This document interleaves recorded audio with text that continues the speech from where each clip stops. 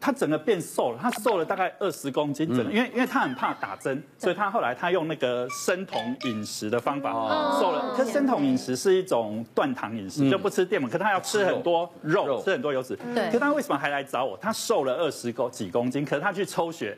他的胆固醇还是五百多，当然三酸甘油还是五百多。啊，他说我已经瘦下来，我整个神清气爽，可是胆固醇高，要不要治疗？就可以洗了。呃，他对我说，呃，还是要洗吧。我我建议他还是在做这些治疗。结果他就跟我预约一个月之后，那结果大概两个礼拜，他太太就打电话来说他要取消。我说为什么取消？他说。昨天他去应酬，跟人家喝酒，喝到一半就猝死。好，其实大家好，大家记不记得前阵子有一则新闻，有一个四十二岁的那个舞台剧演员，然后他就是演那个游民，然后他就突然间。就大家觉得他叫不醒，以为他还在演戏。那后来发现他猝死了。那那那为什么猝死？后来他们那个去研究，发现他可能是那个高胆固醇血症造成的心因性猝死。哈，所以我要跟大家讲的是说，大家觉得说好像高胆固醇血症或高血脂是胖子的专利，其实不是哦，这是两件事。很多瘦子的高胆固醇血症一样有，而且有猝死的风险。哈，我我曾经有一个案例，就是也是有一个就跟他很类似哦，他呃。五十几岁，然后九十几公斤，然后他他家经济状况很好，是个商人，那经常在应酬。嗯，那他每次抽血那个血脂肪、胆固醇那个都五百多。那那那那他已经在吃血脂药了，他还是五百，正常大概两百嘛，他五百多。那怎么办？他每次都会到我那边半年就要把那个血脂肪洗掉。他每次都会洗掉一包这么多的血脂肪。那有可是你知道他洗那个要打两针很痛，因为这个要把它拉血拉出来，所以要打两针。啊，他因为他很胖，血管不好找啊，痛得哇哇叫。那突然有一天，他再也没有出现。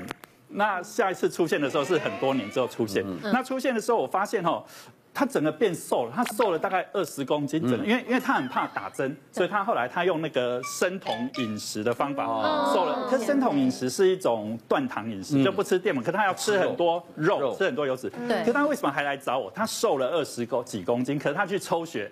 他的胆固醇还是五百多，当然三酸甘油还是五百多。啊，他说我已经瘦下来，我整个神清气爽，可是胆固醇高，要不要治疗？就可以洗了。呃，他对我说，呃，还是要洗吧。我我建议他还是在做这些治疗。结果他就跟我预约一个月之后，那结果大概两个礼拜，他太太就打电话来说他要取消。我说为什么取消？他说。昨天他去应酬，跟人家喝酒，喝到一半就猝死，猝死，猝死。所以，所以我我我的不是生酮饮食吗？还猝死？因为胆固，醇，其实你是瘦子哈，你的胆固醇或三酸甘油脂高，一样有。可是它猝死是跟胆固醇有关？呃，心因性猝死大部分都是。其实我们会猝死，年轻人比较常见，除了脑血管的那个血管瘤之外，最常见还是心因性的猝死。那心因性猝死的危险因子常常跟那些高血压、胆固醇等等相关。你看最近猝死不止年轻人，二十三岁男模。对对对对，很多都是其实很多什么的，我主动脉剥离啊，哈，就是心脏。其实我我在跟大家讲，还有一个很新的一个治疗方式。假设我们刚刚讲说高胆固醇症引起高血压，可是很多人血压药吃了三种啊，还是很多顽固型的高血压，或者说不，其实现在还有一种叫肾动脉交感神经的烧灼术。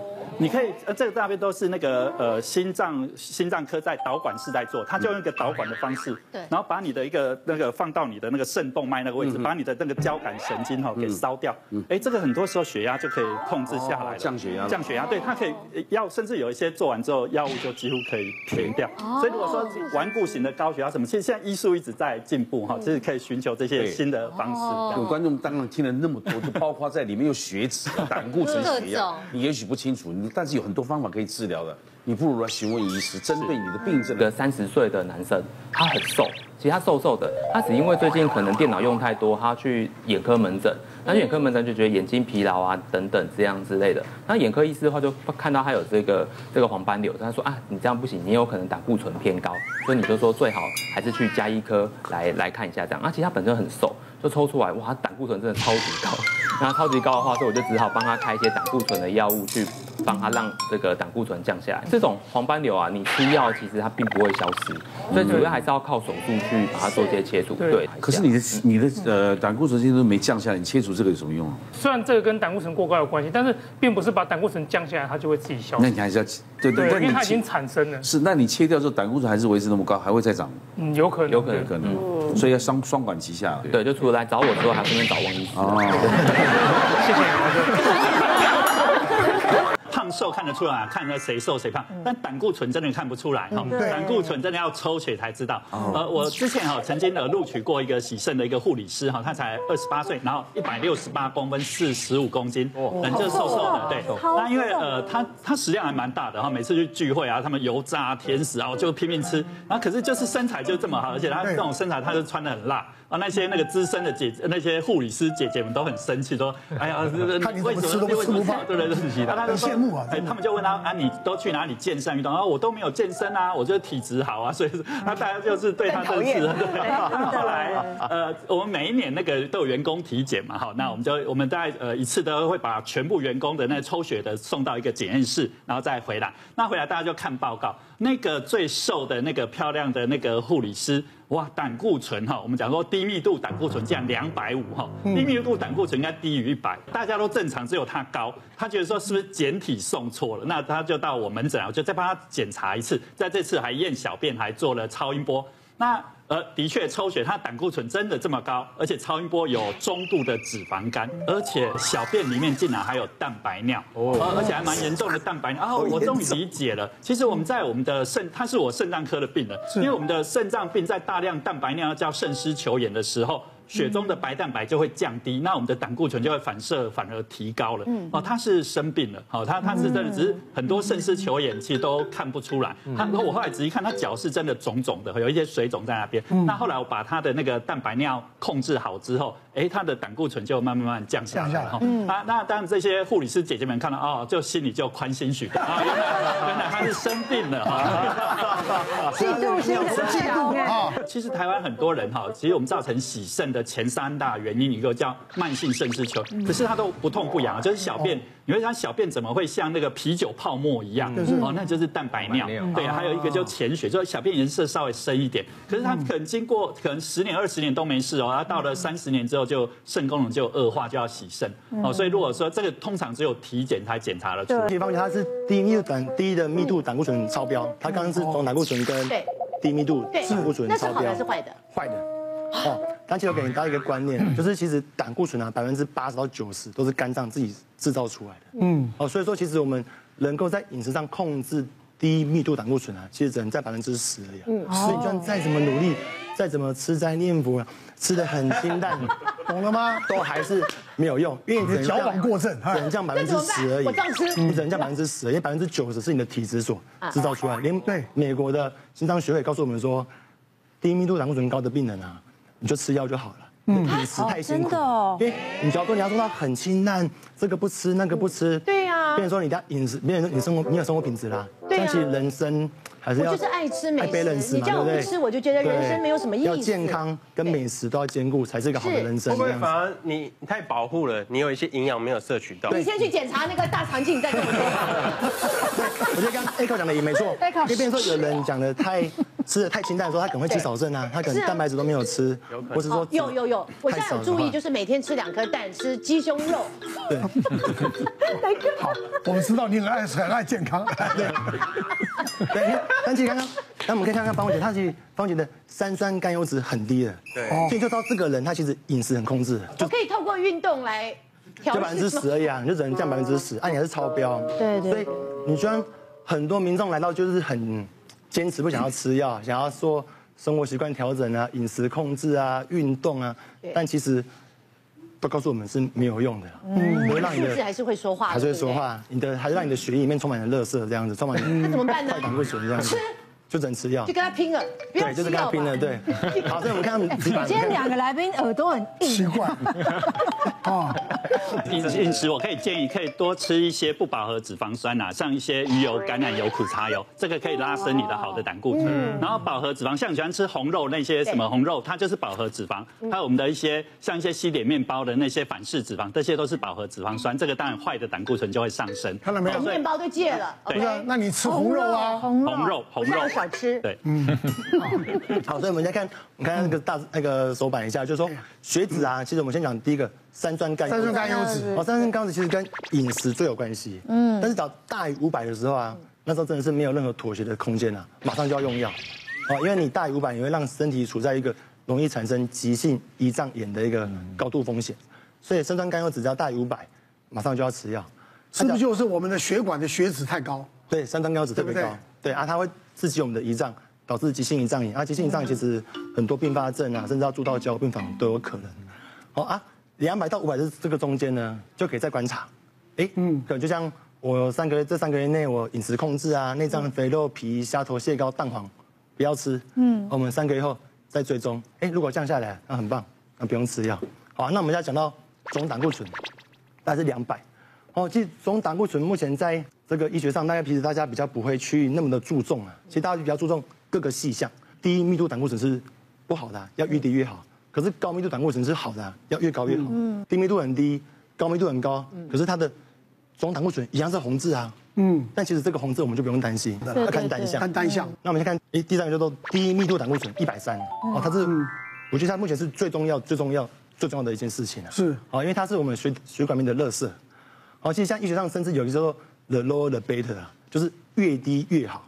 哦，甚至国外有些心脏科大师说降到五十都很好。嗯哦，但降到五十其实是一般人是不可能的，都一定要靠药物控制这样子。是哦，所以像医学上有一些定论是觉得说，就算没有一些很严重的疾病，我降到五十也不错。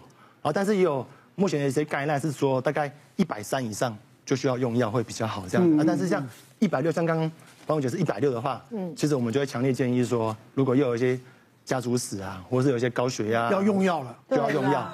因为 我观察他就怕听到这两字对观察三个月再说，对对，观察三个月，对，没错。对我们的台湾健保也是说，三个月后如果还是高，再去验血，对，就要用就要用。药这样不过。我们要讲告告诉观众，就是说所谓的这个三酸甘油脂高，我们讲血脂过浓，就是容容易造成血栓中风嘛，是不是？血脂是一个很统称，统称。可是其实统统称叫血脂嘛，但是血脂里面就是包含了三酸甘油脂啊、低密度，低密度胆固醇。但其实跟中风、心肌梗塞最有关系的是低密度胆固醇。低密度胆固醇。对，三酸甘油脂其实比较跟急性胰脏炎这些比较有关系，所以我们所有的重点都要放在低密度。低密低密度胆固醇。它是我们的比较重要的首要目标。我们这个有做这个三年三年的一次成人健检嘛，啊，就有一个中年女性来我们的医疗院所做一个抽血检查，哎，她全部呢都是黑的，哦，全部都黑字，哇。哇，而且唯走低密度胆固醇超标，超标。啊，一百七十几，啊，因为它高密度也低，三酸甘油脂也低，嗯，它总胆固醇就没有超标嘛，所以它全部都是黑字，